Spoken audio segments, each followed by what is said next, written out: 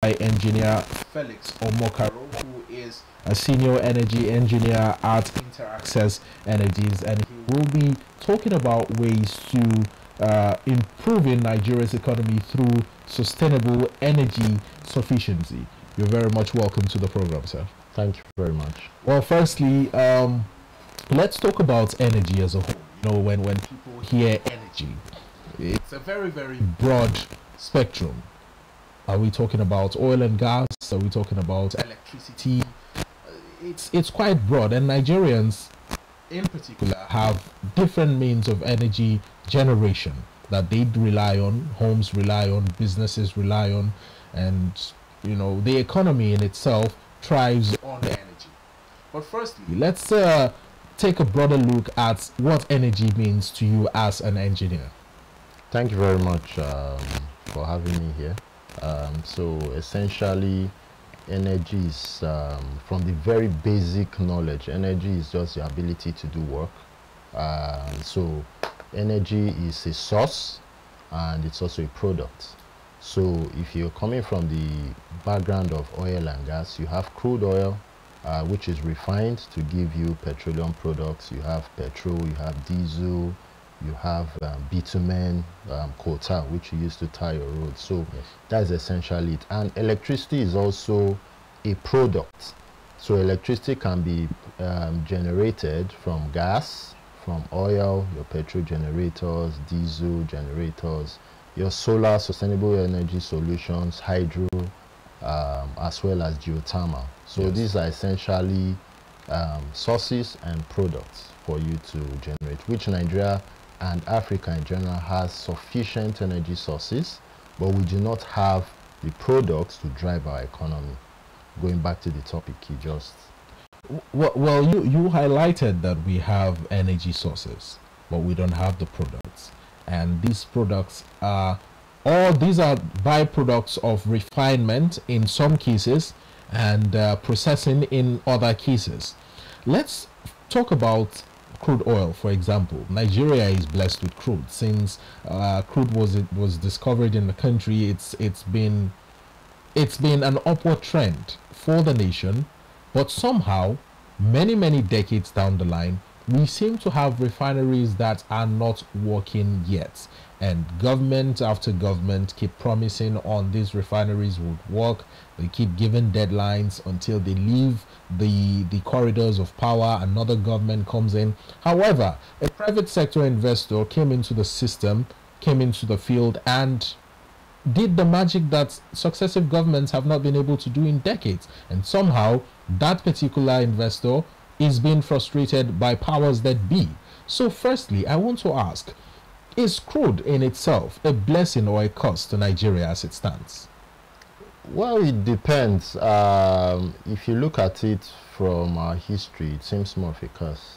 Um, although we've had some revenue streams of billions and trillions of dollars in revenue streams to the co- country, which, by the way, it's not being well managed. It's obvious in the public domain. Yeah. Um, but it's more of a curse than a blessing. But it should be a blessing when it's um, well or better managed. Yeah. So, um, and looking at it from the Dangote aspect, it's a good one if you have private sector individuals coming into that sector to play in and um, being able to provide um, crude oil and um, petroleum sources for us, diesel um, and petrol. I, I mean, if you go around Abuja, around Nigeria, you can see the long queues that In we've been filling stations. We've been experiencing, Yeah. and um, people have to queue um, overnight, stay for long hours, and you have to waste productive um, hours on queues. So essentially, we hope that even more players can come in, but it's not been looking good, especially with the challenges Dangote has had.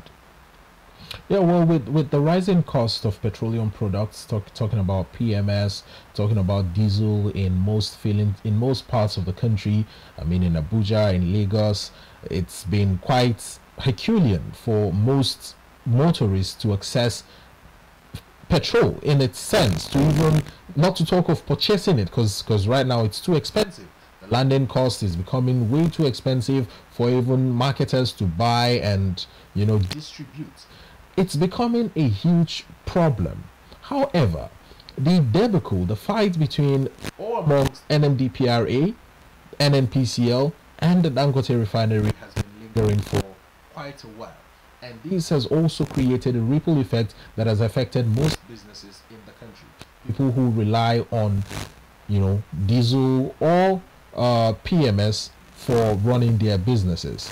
Since obviously it's Nigeria, there is very little to no electricity in most parts of the country, so people use generators to power their businesses. My question now is how can we close up this energy gap? Are there other energy sources that can be maybe explored to better enhance productivity uh, in, in our economy? And if you look at it, um, most Nigerians have diversified from the traditional energy sources. Um, usually in the past you have petrol generators, diesel generators, although most people still buy it, but most are transitioned towards sustainable energy solutions, which yes. is um, um, solar.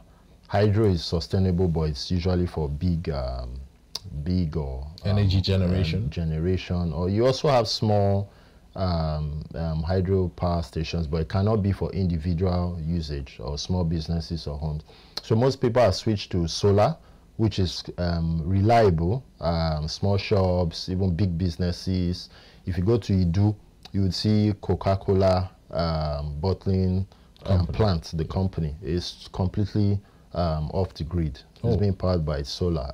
if you see Baze University as well, um, has a very huge um, solar power farm there as well. So diversifying the energy sources would be the best option for us. And if you look at it, sustainable energy solutions, especially solar, you don't require any source of energy that you need to go to the markets or to the filling station to get. Is essentially the sun. You essentially buy the conversion kit, which I call it your solar panels, yes. your inverters and batteries and you can live um, your life comfortably, just like you have um, um, um, energy availability in the West. So this is just the case. Diversifying the energy sources will be the best. Well, conversion kits for solar solar energy generation, uh, some of these parts you mentioned are imported and assembled here in Nigeria, and which I you will agree with me that is not quite sustainable and it doesn't come cheap as well. That is why most homes now cannot afford solar panels or inverter batteries that work with solar, solar panels to be able to you know generate other sources of energy in their homes as opposed to what is obtainable uh, from the discos and all of that. How can we start is there a possibility, do you see in the nearest future or maybe in the long term, a possibility of Nigeria producing its own solar panels and not just importing parts and assembling it here as a form of um, energy generation? Yes. I mean, I mean, I know they are they are they are solar farms and all that, but still, can we start producing? It's not rocket science to do these things. Um, there are already initiatives that are being tailored um, towards producing um, these parts or components. Um, but we know it takes just more than um, policies to do that. You need the technological know-how. Um, yes. Because even in the West, the solar panels you see, the Westerners are also still trying to improve on these systems. better technology being involved, use of AI, use of better parts. For example, if you look at solar panels, there are thin lines that connect the cells. That's yes. made of silver. Yes. But um, in Australia, um, a scientist found a way to connect it with copper. Which, which is cheaper. Are, yes, which is cheaper and has dropped, steadily will drop the price. If you look at the global price of um, solar panels, the prices steadily are dropping. Are dropping. Yeah. So it's not something that should be rocket science to us in this country, but um, you know the way things are done in in Nigeria. So essentially, for it to be cheaper, for it to be affordable, it has to be produced in Nigeria. For example, lithium batteries are produced with lithium essentially. We have it abundantly in Nigeria, in Nasarawa State, just close by here. In Nasarawa, in Taraba, in, in many parts of, So, of, of northern Nigeria. we essentially are behaving like um, um, the, um, we export the raw materials and we bring it back into the country. Just the way we do with crude. Exactly. So it's like it's the same story for every sector. Um, so this has to change. We need to essentially um, ensure that whatever we have, we can convert it to the finished product, and why not sell the finished product? I think um, um, just like Dangote is trying to do, this can also be done in the sustainable energy sector. Um, for hydro, it's essentially water, so you just need to build the dams. Uh, but for um, solar, um, we're still importing the technology, but it shouldn't take us um, too long or too difficult. We essentially need to just copy because what do you need to do? It's been done. I mean, I mean it's like, like you said, it's not rocket science, it's just solar science. You just take it and you bring it and you duplicate. Um, instead of using the word copy, duplicate the system. yes. And the same factory maybe that works in China should work here. I mean, so- you don't, you don't, ne- we don't necessarily have to reinvent the wheel. at all. We are just copying a model or duplicating a model and making it available to the general public. Exactly. Well, well, engineer, another form of energy that um, most Western countries have employed, which is working fantastically well for them, is wind energy. So, uh, wind turbines, and uh, it's something that I've never seen in Nigeria. The sheer size of it, the large ones that you could see a wind turbine farm spread across acres of land. Why aren't we exploring that in Nigeria? I mean, we have wind here, don't we? It's an element that is abundant here as well. The challenge with wind is you need it to be constant year round. Um, so if you look at most of the in the low regions like Holland, Belgium, Yes. you see a lot of wind turbines. Wind turbines, yes. The wind is constant there. Yes. Okay, so um, for wind, you need about um, 10 meter per second square constantly. So it's not like um, sometimes it doesn't, there's no wind, the turbine is wasting, and you know it's not just about engineering, it goes into the financials as well. So if you're not generating, essentially um, not producing anything, there's no payback. So you need constant power, wind generation, um, constant wind. I would call it supply because the wind needs to blow constantly, Constantly. year in year out. But we have um, we've had a wind turbine. I think it's um, it wasn't really successful in Katsina. There was a 10 megawatt wind farm. Okay. Um, you, um, yes, in Katsina. Um, but that's been many people have asked this question, but it needs to be constant, not just you have it uh, maybe two months or three months. So constantly, wind is that's the challenge. So, so, so you, you think that is the major challenge that is restricting or stopping Nigeria from exploring that form of energy generation? Um, no, not not really. Uh, mostly, I think Nigerians sometimes we look at the low hanging fruit. So most people just look, oh, you put your solar panels, you have abundant sunlight, except during rainy season, and you just harvest. Why thinking about carrying a very high tower? Uh, well, well, these, these the issue of solar panels and all of that. These are things that individuals can actually do for themselves, disconnect themselves from the discos, disconnect themselves from paying any form of tariff to the federal government or whoever it is. However, let's also knock the government on the head. Let's knock the government. They are saddled with the responsibility of exploring some of these energy options, providing it in mass to the general public. I mean, people are not going to get it for free. Certainly, they are going to purchase it. So, why aren't we diversifying? Why have we been hinged on crude? And why have we been hinged on just, um, what is it called? the regular dams that we use for power generation and all of that why are we just focused on those things and not open-minded in terms of uh, creativity in other sector in other uh, ways of energy generation Well, we're already moving in that direction. Um, one of the northeast states is um, moving towards um, um, a large solar farm. Um, so it's essentially just going to be based on time. Um, but generally between this um, end of this year to next year, you should have to see, you start seeing large solar farms in some of the northern states. Because like I always say, you can take off um, some of the public institutions um, off the grid. Um, Yes. The military barracks, like in the northeast, in the northwest, could be completely off the grid. Um, they should they shouldn't be waiting or depending on the transmission of energy from Olorunsogo, from places in Kogi down to those places, so they Yes. can be self-sustaining um, with solar solutions. But we are going to see a transition. Uh, we are seeing in some aspect, we are going to see large public um, solar farms coming on very, very soon. Well, let's hope to see large solar farms uh, coming up and also hope that they are sustainable and uh, well protected against vandalism and, uh, you know, theft from maybe local residents or deviants who might want to take advantage of such things.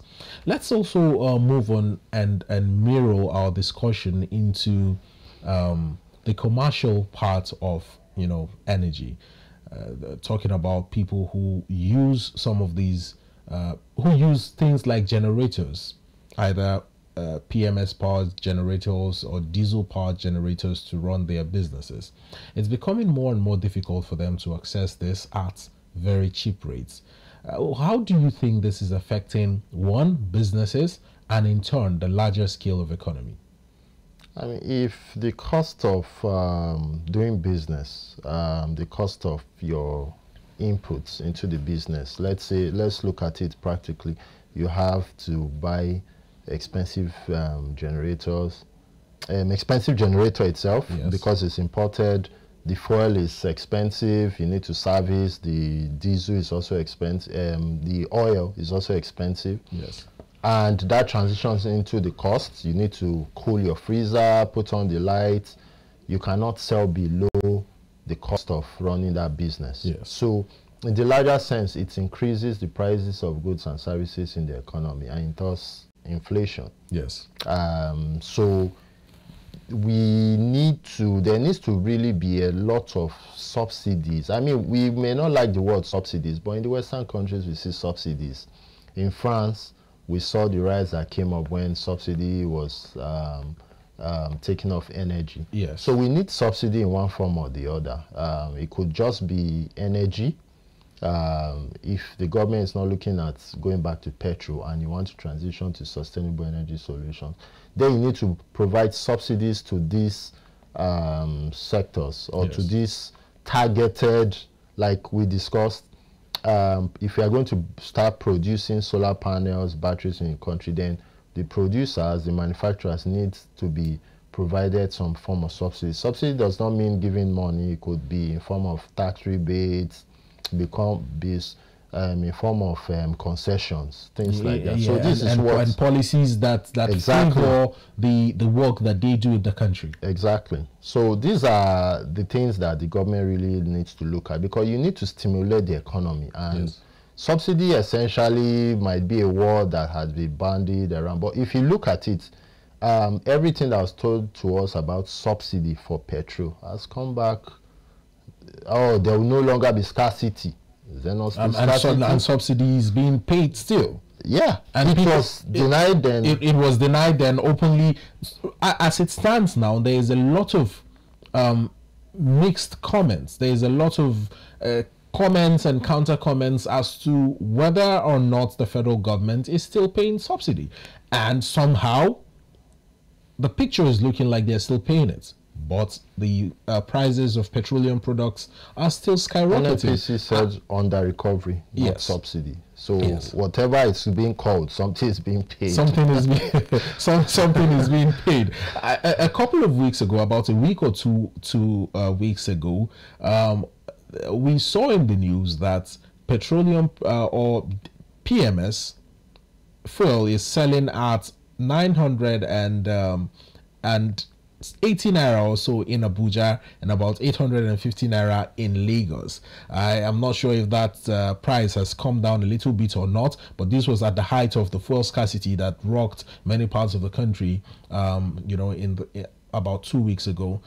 Uh, somehow, during that period, MDPRA went about filling stations, stopping them from selling petroleum products to people using jerry cans. Now, mind you, I had earlier mentioned that with the unavailability of electricity in the country, which most businesses thrive on, they will certainly need to power their generators, which are being imported and they are buying at high cost. So if if these businesses are to survive, how are they supposed to get access to the the um, petroleum that they are supposed don't, to power don't their go far to yes. the businesses. Is it not a contradiction that in Nigeria you would find um, at the filling station, you would see um, black marketers selling in front of the in filling front of the filling. It's a contradiction. If the filling station does not have um, petrol, then why should the black marketer by the side have? There's a filling station along an expressway I drive by every day. The filling station has two branches across facing each other. It's been closed for almost a month now. Over a month. Over a month. But every single morning, every single day, afternoon, and night, there are people with jerry cans filled with fuel standing in front of the same filling station that has been locked for over a month. What do you make of this? What do you make of this situation? To, to me, it's rather a. eh, The more you, I- the more you look, the less you see kind of situation. I really don't know. It's some kind of Houdini magic thing that happens in this country. Okay, where do they get the petrol products from? You see cars buying it, and those stations are locked. So essentially, the regulator has to look at not who buys in the jerry can. For example, um, somebody's car stops on the road, which is not really nice, but it can happen to anybody. Yes. And you have to buy, let's say, four liter before you can even drive into the filling station.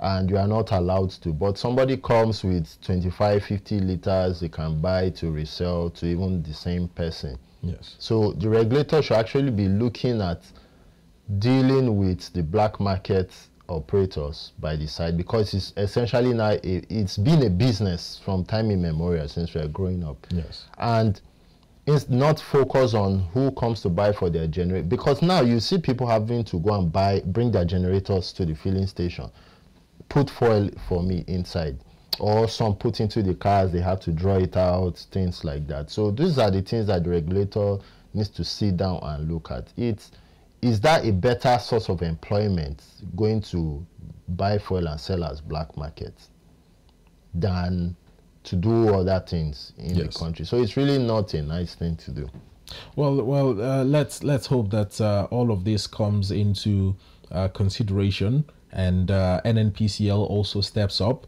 and uh, the oil cabal that's you know Dangote and his uh, peers have complained about in the regime or the NNPCL itself sort of take their hands off the energy sector so that Nigeria can thrive.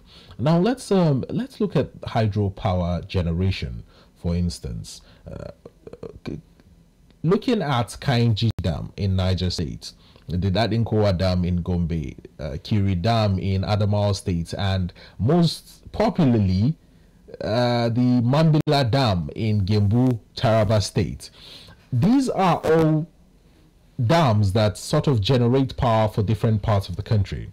Now, talking particularly about Mambila Dam, I've done a documentary in in Gembu in Taraba State where um, I went down there, traveled all the way down to Gembu, and went to do a story about the dam that has been promised to, you know, be completed since the 70s. It's been decades. I went there, and surprisingly, there was no dam. What do you make of such? How would you react to such a development where promises have been made, millions of dollars have been earmarked, government after government since the 80s? I think during the course of the interview, I, I spoke to a villager, a very aged woman, who said that the first time that government officials came to the village to start construction there was in the 70s. She was still a young woman. She had just gotten married then. Her husband has died, her brothers have died, her father has died. She's now very old, and still they have not completed the dam. Mind you, I did not see a dam. I only saw a river with very high currents that could situate a dam, but there was no dam.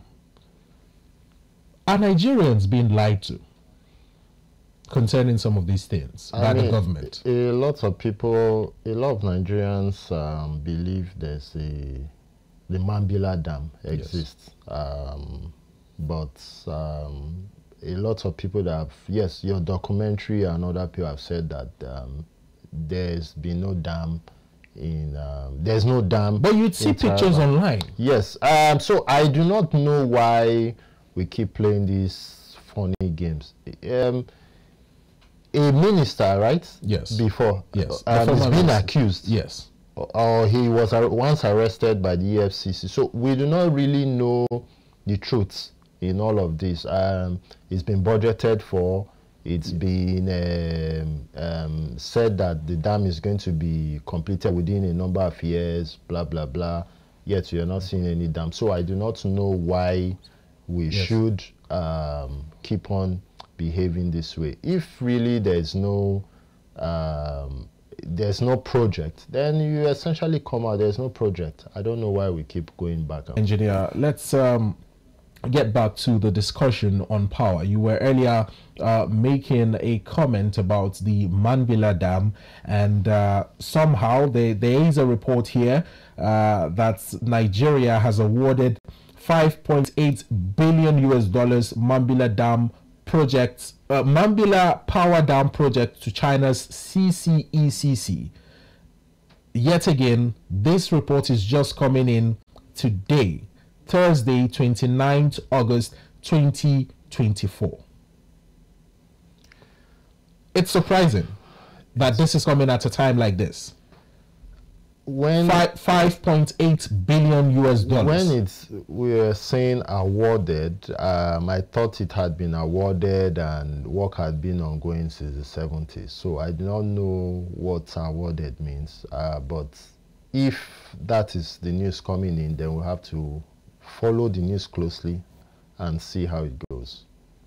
Well, well, considering that uh, the, that the China Civil Engineering Construction Corporation (CCECC) has been in the picture of Nigeria's infrastructural development uh, in the in the last couple of years, just as much as Julius Berger was decades ago, uh, do you think that somehow they should be held to ransom this is not the first time monies are being allocated to them.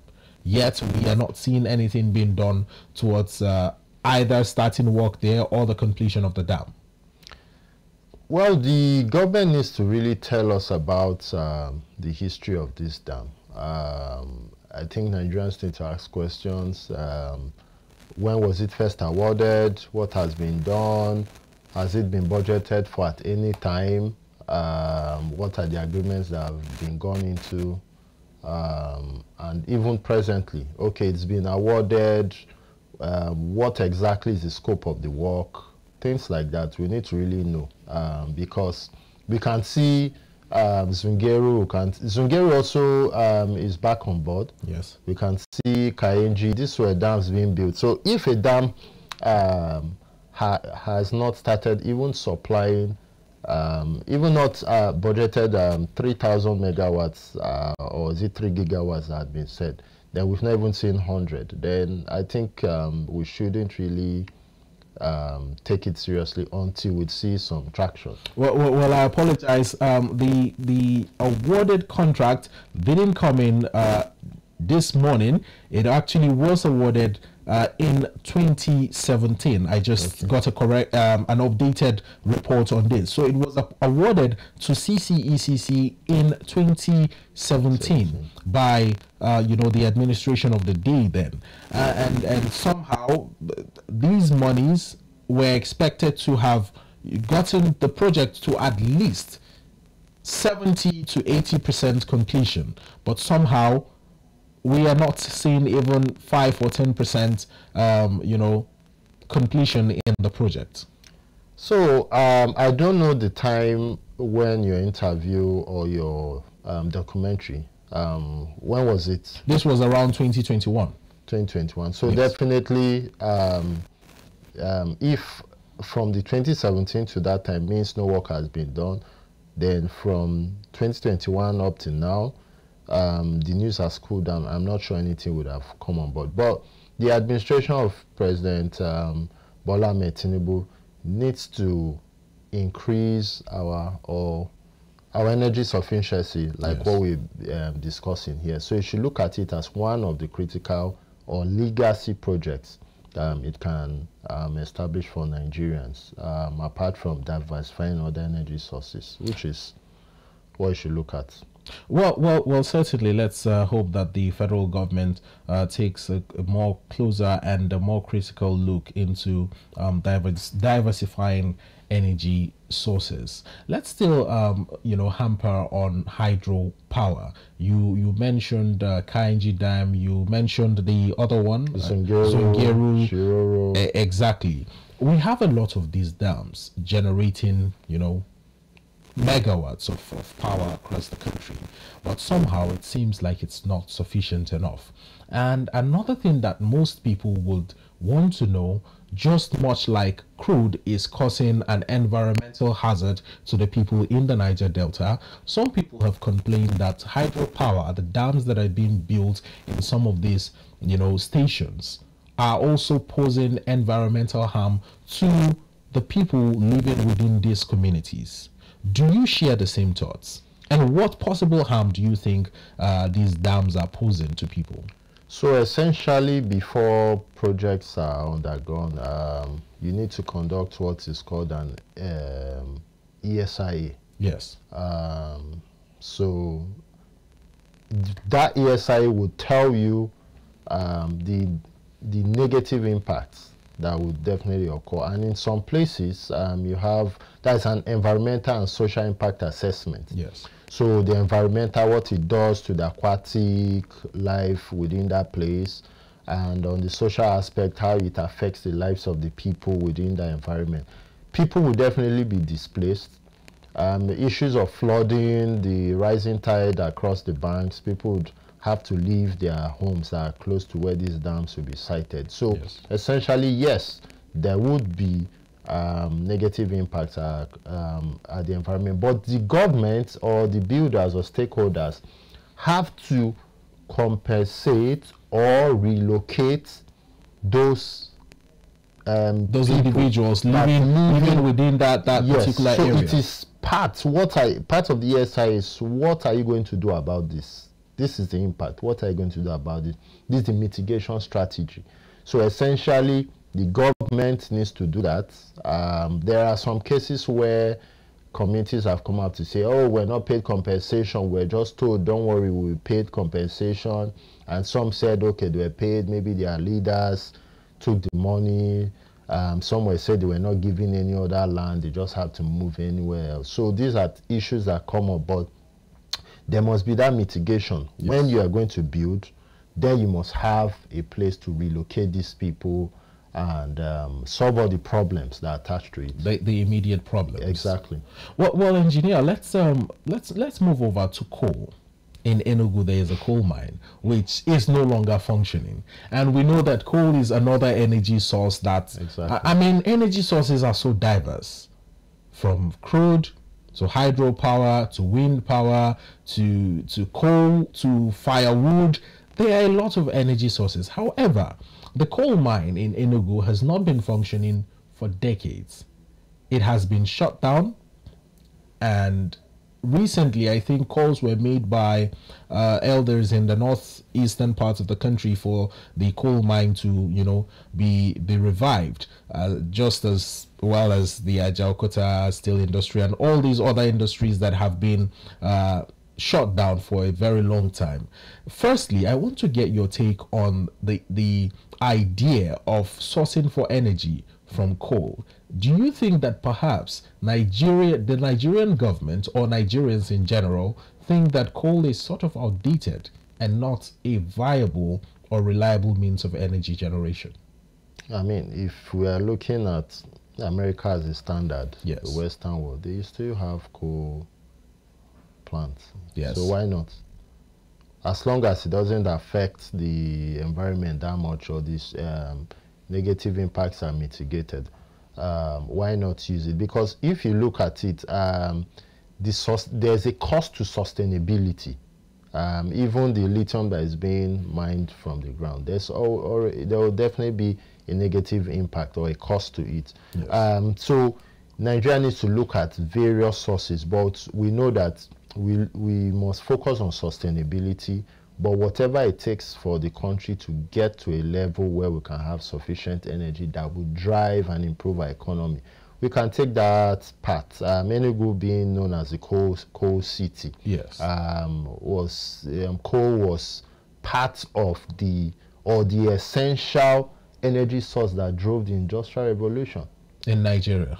You know what I mean? In, in, in, the, world, in, the, the, world, the world generally. So um, it's it could be a short term, long term. Um, I mean, sorry, a medium to long term solution to some of our energy challenges while we look at sustainability. I mean, um, comparative advantage would be good. Let's say in the north you have much more sunlight and you look more towards the solar. Yes.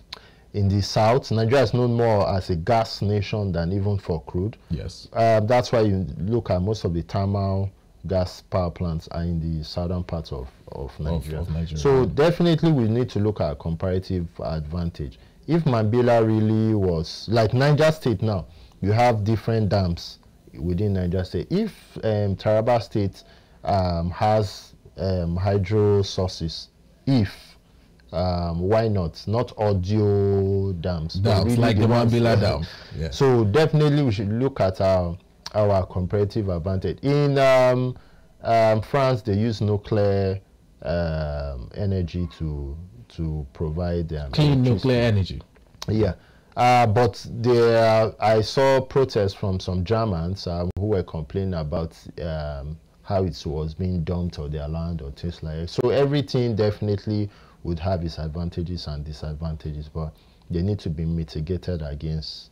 Um, so essentially, that's what it is. But Nigeria can look at that as well. And and you you you rightly pointed out that Nigeria is uh, more known as a, a, gas nation than even um, a crude uh, nation. And if you recall, recently uh, the federal government made a statement to roll out uh, CNG buses for ease of transportation considering the high cost of petroleum products in the country.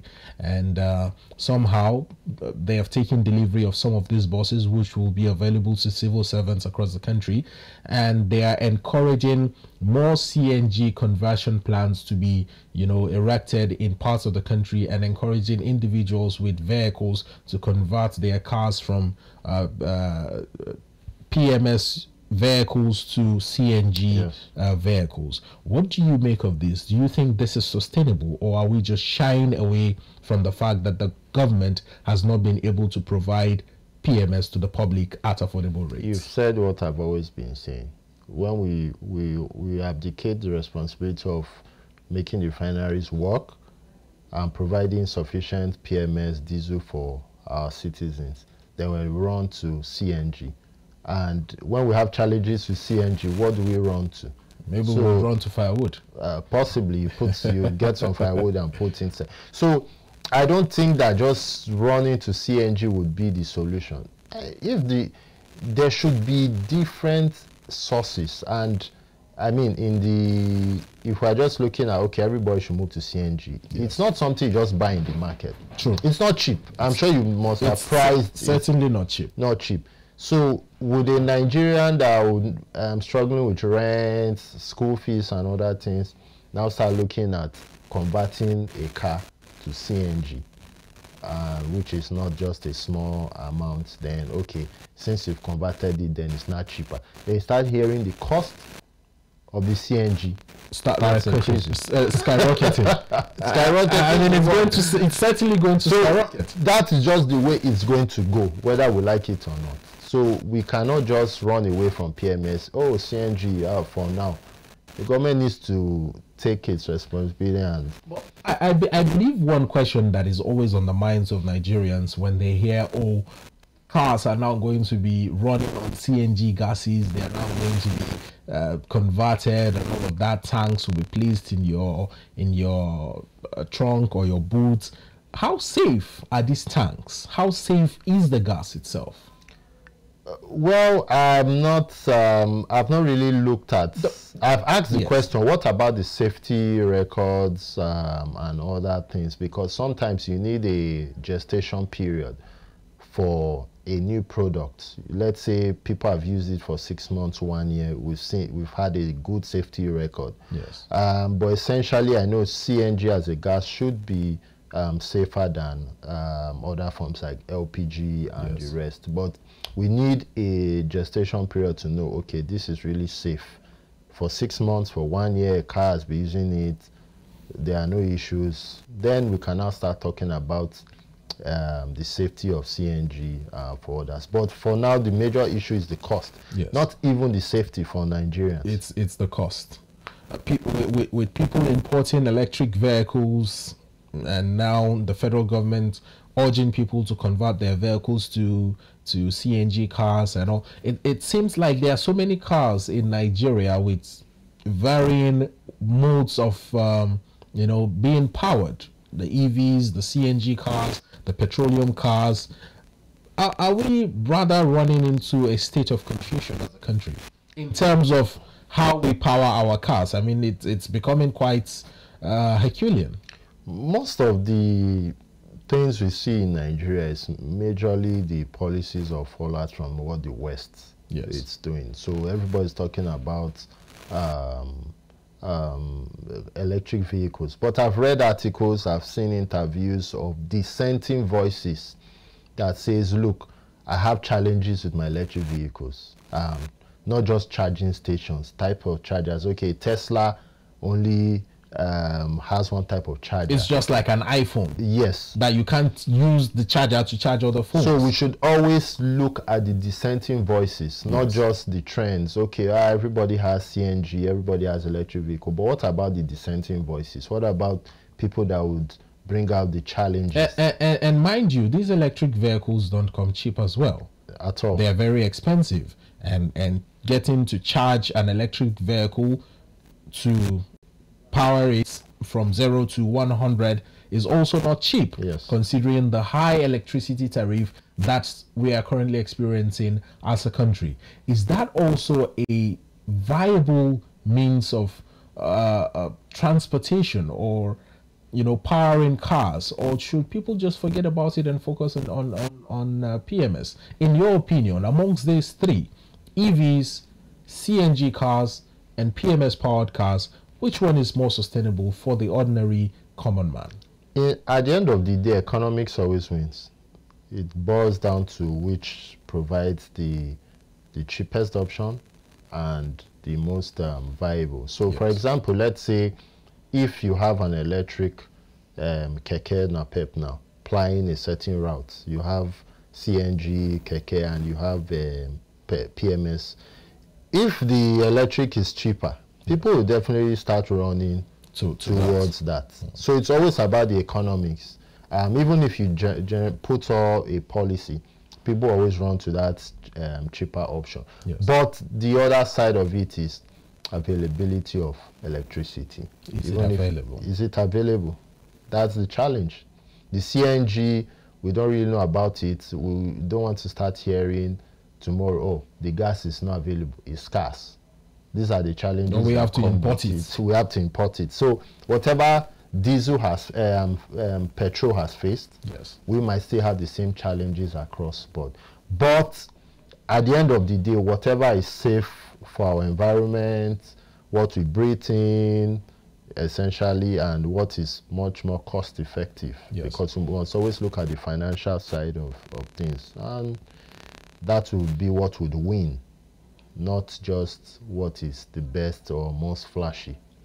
Well, let's uh, hope that uh, the best one wins and that Nigerians can drive their cars uh, with ease and be able to purchase, you know, uh, affordable uh, energy sources to power their cars. Now, as we look to wrap up this segment, one part of um, energy generation that we have not really touched, uh, which also has some sort of adverse effect on the environment, is firewood, wood. Trees are being felled in, in forests.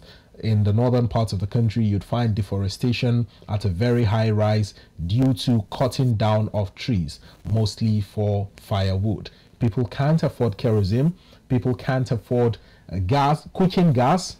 People can't afford. Well, charcoal is also gotten from Yes. from wood. So uh, it's either these fire these woods are cut down to be used directly as firewoods, or they are cut down to be converted to charcoals, which are more affordable means of um, energy generation for people who want to uh, use them for cooking, having an adverse effect on the economy. What is your take on this source of energy that is cheap yet very hazardous to the environment? Um, you know, firewood, it's not something that um, um, just began a few years ago, a decade. It had been some um, an energy source that began even before our parents, before Yes. our grandparents. Um, it's been there from time immemorial. Yes. So it takes a lot of mindset change, government advocacy, policies to change, and availability of the other source. Yes. Um, so if you want people not to use firewood, what other source would be available in a remote village? These are things that These we are these are at. these are the questions. Yes, so not just okay, it's um, dangerous to environment. Fine, what are you going to do about it? So, are you going to gas is scarce within the town? Um, not scarce in the sense that um, it's not available. It's it's expensive, and transporting it to let's say a remote village, Yes. you need to have a gas station or clean cooking stoves that we have um, right now. So we need to not just look at the challenges or what is being said globally, but what are the possible alternatives to these things. Um, so, and also, um, a, a lot of advocacy has to go into it. I know some energy companies are doing that, but you have to go into it to tell the people the harmful effects uh, of the firewood, maybe breathing in the smoke and other things. Yes, it's, it's harmful, but these are the things that need to come into play for the villagers, for the people in the rural areas to move away from firewood. All right. Well, uh, in in closing, just a few words. We have a few seconds to go. What will be your message to one stakeholders in the energy sector, uh, the federal government, private sector energy generators, and uh, people in the entire energy ecosystem? I would say um, President Bola Ahmed Tinubu should try to make the cost of energy cheaper for Nigerians. Um, it's not really easy when you're coming to work and you see lots of Nigerians not able to afford um, transportation coming to work. The money that they earn has finished um, just even before the month comes in. And also for stakeholders, bringing the best solution. Do not um, look at um, just the profit that's involved. Look at the best solutions. How can we make Nigeria better? And that would um, um, take us forward and not back. We can become like the best um, nations in the world. We have all it takes. Uh, all right. Thank you very much, uh, Engineer Felix Omokaro. It's been wonderful having you here on the program, sharing your thoughts with us. Thank you very much. All right.